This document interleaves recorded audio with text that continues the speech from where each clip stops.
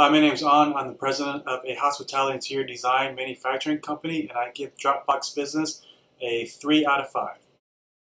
We were using OneDrive because it's for Windows, but we switched over to Dropbox Business because we are in the design industry, and uh, most people in the design industry use Mac OS systems.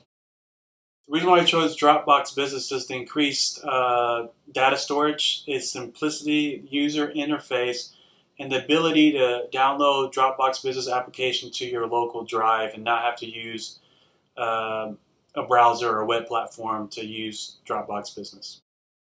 At first, I mean, you had to use your personal email when you set up the account, and then when you switched over to your business account, there were some hurdles uh, integrating the two, but I think after uh, a few months, Dropbox were able to merge your personal account. I use a Gmail account and then also my business account and after some time, um, they were able to merge, and you can access your files by logging into either your emails.